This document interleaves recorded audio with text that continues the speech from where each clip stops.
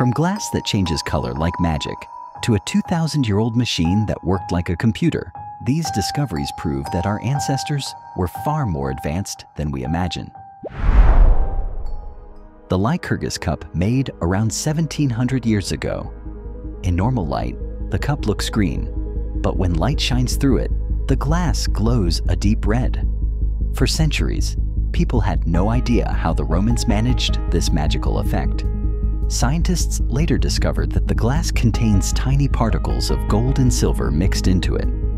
They scatter light in a special way, creating the color-changing effect. Damascus steel is one of the most famous materials from the ancient world, known for making incredibly strong and sharp swords. It was first used around 1600 years ago in the Middle East. Warriors who carried Damascus steel swords were feared because their blades could cut through ordinary weapons. What made Damascus steel special was its unique pattern. These patterns came from mixing iron with just the right amount of carbon during the forging process.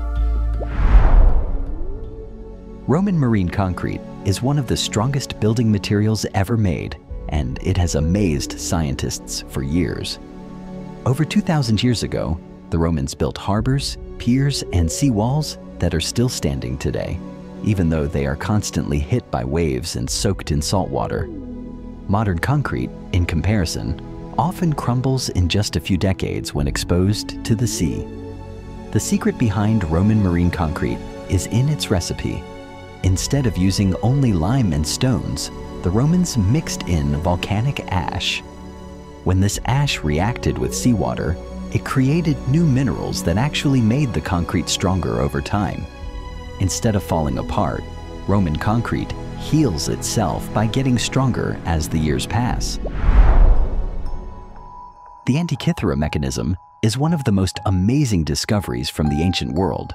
Found in 1901 in a shipwreck near the Greek island of Antikythera, it looked like a rusty lump of bronze. But when scientists cleaned it, they realized it was a complex machine made of gears, something like a very old computer. Built around 2,000 years ago, the device could predict the movements of the sun, moon, and even planets. By turning a handle, the gears inside moved dials that showed eclipses, phases of the moon, and dates of ancient games like the Olympics. What's shocking is that no other machine as advanced appeared for over 1,000 years after it. Some call it the world's first analog computer because it calculated things mechanically instead of electronically. I hope you learned something new today. Don't forget to like and subscribe, and I'll see you tomorrow.